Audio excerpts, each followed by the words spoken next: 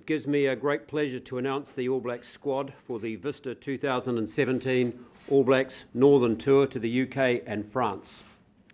The touring squad is Asafo Aumua, Wellington, Beauden Barrett, Taranaki, Scott Barrett, Taranaki, Sam Cane, Bay of Plenty, Dane Coles, Wellington, Wyatt Crockett, Canterbury, Ryan Crotty, Canterbury, Matt Duffy, North Harbour, Vaea Fifita, Wellington, Jack Goodhue, Northland, Kane Hames, Tasman, Nathan Harris, Bay of Plenty, David Havili, Tasman, Rieko Ioane, Auckland, Jerome Kaino, Auckland, Tawera Kerr-Barlow, Waikato, Nepo Laulala, Counties Manukau, Ngani Laumape, Manawatu, Anton Lienert-Brown, Waikato,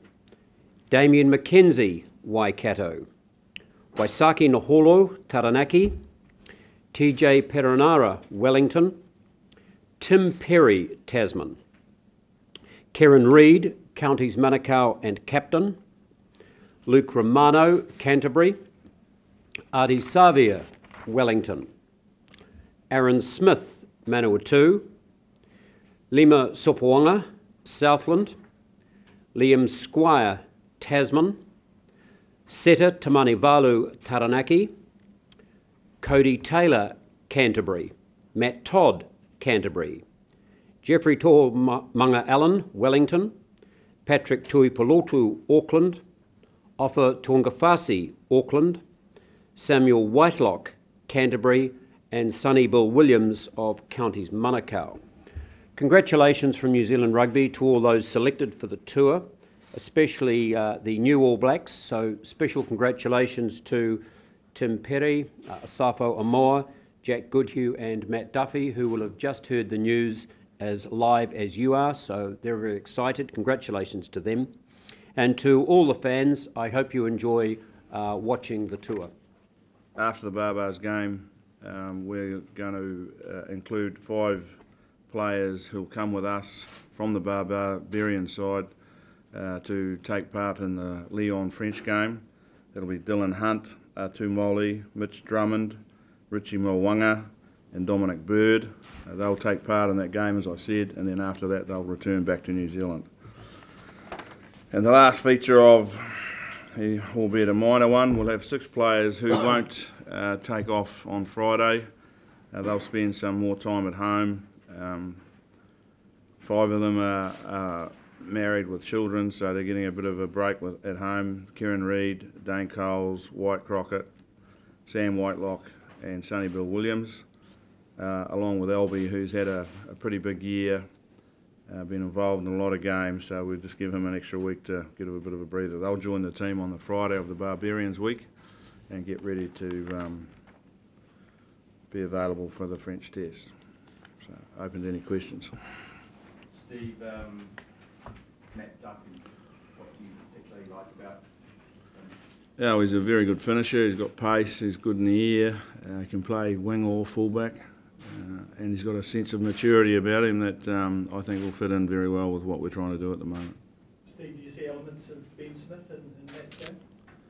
Uh, yep, yep, I do. Um, you know, it's a it's a big comparison though. I mean, uh, Matty's had an interesting uh, football career, uh, taking in both codes, and um, you know, he's he's done well coming from the Stormers after a lot of injuries. I know they didn't want him to to go. They rated him very highly. Um, but over the last couple of years, he's just grown and grown, and um, you know, he's become very consistent. Was Aumua just too good to leave out, or his form too good to leave out?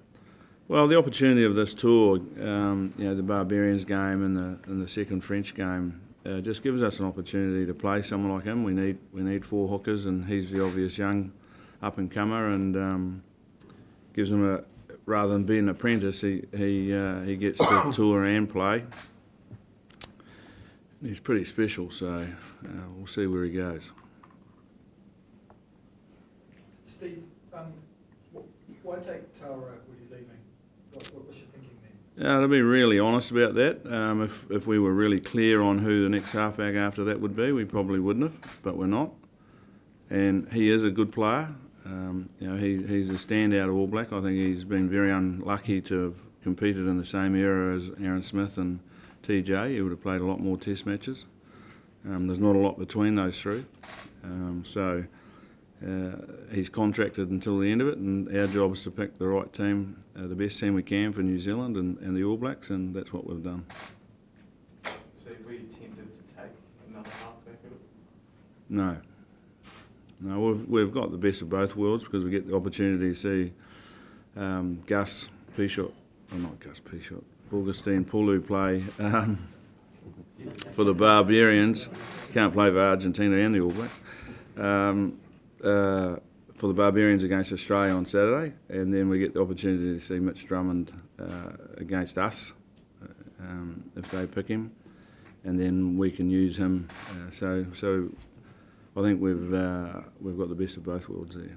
So the five players from the Barbars are likely to see game time against Well, they'll be in the 23 for sure, yeah. And the reason we've done that is we just don't want to go test match Tuesday test match. It's not great for preparation. We we think Scotland are going to be a really tough uh, encounter, and we want people to be fresh as they possibly can be.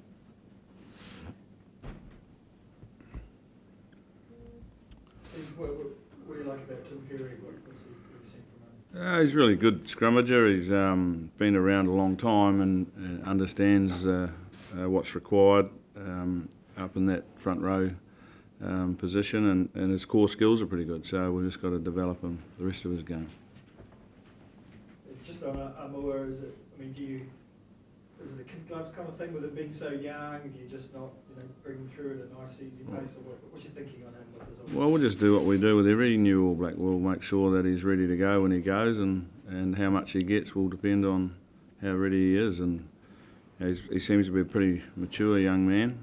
Um, he's playing well at, at uh, Mitre 10 uh, level, and he's done well in the under 20. So he's got an opportunity now to spend some time with uh, three good hookers and um, and learn from them, and, and he'll get a little bit of game time. So you know, the future is probably where his um, his career will be, but uh, right now we'll, we'll get to know him, and uh, that'll be important. You- You've said before, Steve, that you find it very hard sometimes to gauge a player's talent based on Mitre 10 Cup because you believe that there is a drop-off. What is it about his play at that level that tells you that he should be able to step up to international? Well, he's dominating. He dominates when he carries. He, everything he does, he's, he does really, really well and stands out. So uh, that, that's not normal for a 20-year-old. So when you see uh, non-normal behaviour, which is positive, um, it's not too hard to reward it. What's Seta done to, to impress you? Has it just been that positional change for you? Uh, well, maybe Foz can answer that question. He's sitting there weekend at Bernie's if you don't ask him one. So, Thank you, Steve. yeah, no problem, mate. Um, oh, I think it's. Uh, I think the move to wing's been great for him. You know, I think particularly he's. It's uh, like he's a strong runner. He's, he's an offloader, so he keeps the ball alive in that outside channel, and and also aerially, he, he's excellent. You know, like he, he chases a lot of kicks, catches them, and and that part of his game has been pretty significant, which we haven't never really seen when he's playing centre. So clearly he can play both, but I think moving out to the wing is it certainly looks like his best position. Steve, you sent Julian Savea back to play provincial rugby. He's played pretty well. Well, Is, is he not played well enough for you guys? Or is Uh, uh, we're really happy with how he's going, but it's a long-term plan with Jules. Um, he and his partner or wife are due to have a baby shortly, so we want him to have a big off-season. Um, so those two things combined with us thinking that, well, st- stick with the plan and, and uh, let's have a look at some other people. Steve has Beauden, is he? But, Yeah, he's fine, yep, yep. Um, no, Greg Metallic, how did that discussion go between you and him?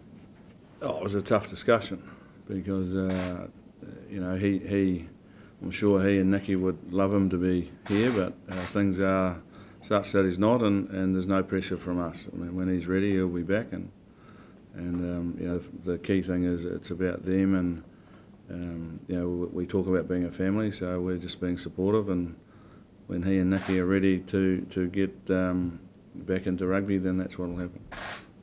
I know it didn't affect your selection of thirty-seven, but the loss on Saturday, how does that change your mindset going into it? Does it change it at all? Oh, you're a little uh, grumpier than you were the day before the loss, I should suggest, but it hasn't changed our philosophy on the tour, no.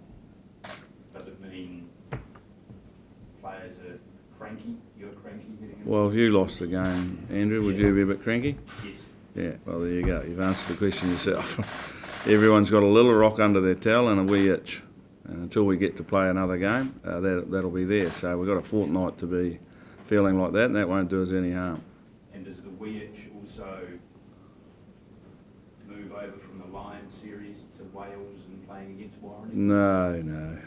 It's not the Lions, it's Wales. So it's a different.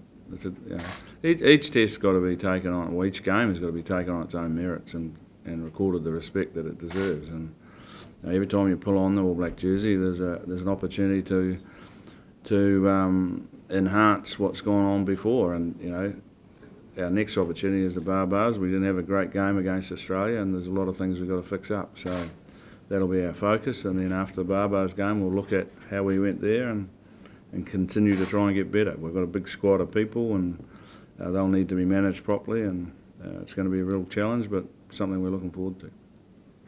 Steve, how do you manage the, the coaching side of it, particularly that, that Tuesday game? Do you give the gentleman to your right a little bit more reins, or do you still have that control? Well, he's got all the reins anyway. He does it, he does it all. Um, look, we, we've sat down the coaching group and uh, planned out the whole tour about how we want to do things, and there's there's not really a need to uh, change our weeks. Um, just means you know, as coaches, we'll probably have to do a little bit more on the same day uh, and split the two teams a couple of times. But by and large, yeah, um, everyone's just management will have to work a bit harder. Uh, the players will just it'll be just life as normal for them. Scott McLeod excited Yeah, well, I, I got an email off him straight after the Aussie game, so I, I, was- I think he's pretty excited. Yeah, Can you discuss what was in the email? G'day, Steve. anything else underneath? Well, it's quite a bit, but uh, no, I can't discuss that. Ian, um, just back to Matt Duffy, he's, he struck me as being a, an old head on younger shoulders and a, and a professional. Would you? what- Yeah, what would you certainly saw saw a lot of them during the uh, the Blues campaign. The Super Rugby, we were able to spend a lot of time around there and watched them train and, and, and watched them study the game. And like he's he's he's a thinker, and you could just tell that he had a really good work ethic off the park and. And, and you saw that on the park, didn't we? I mean, I think we saw a player who, who, uh, who got really settled in the game. He made a big difference, I thought, to the Blues, and that back three looked calm, and yet he looked pretty potent when he had the ball. So, um, we've been fortunate enough to, to see him working behind the scenes and then see that transfer into the on the field stuff. You know, particularly in Super Rugby, and then he's carried that on with Harbour. So, um, and it's great seeing someone at at, um, at the age of 27 work hard and, and chase something and, and, and reap the rewards of it. Ian, after waiting a long time to get a chance for you blokes, uh, Danny McKenzie's had a pretty uh, heavy schedule of, of big time test rugby. What have you made of his, what he's produced so far and what you see from him in his time at 10 on Saturday? Yeah, look, I think he's uh, he, he he should be very proud of what he's done so far in, in the black jersey. He's um, you know clearly it's it's been a learning pro process for for him. Uh, there's been a, a few new faces in that back line, which has meant that he's probably had to take a little bit more responsibility than perhaps we would have expected, and and overall dealt with that really really well. You know, like it hasn't been perfect, and, and he's made some errors, but he's a type of player you, you just got to allow him to actually back himself and just have a crack at things. So, um, and, and we've seen he's on an upward trend. I think when you look at the tests he's played in regards to time at ten, it, it, that that's going to be that's going to take a little while, and you know he's got the skill set to do that, and it's just a matter of it's just something he's just got to get in. He's just got to get in the driver's seat and just spend more time there. So you know, it was good to have a bit of time with him in there at, at, at Brisbane, and um, he will learn a lot from that, and we'll obviously spend a bit of time discussing that. But hopefully on this tour there may be a chance for a little bit more. Would you like him to maybe start one of those, that Barbarians or that French game? Would you, is that a possibility? There's lots of possibilities, Nigel, but um, uh, we'll let you know. Have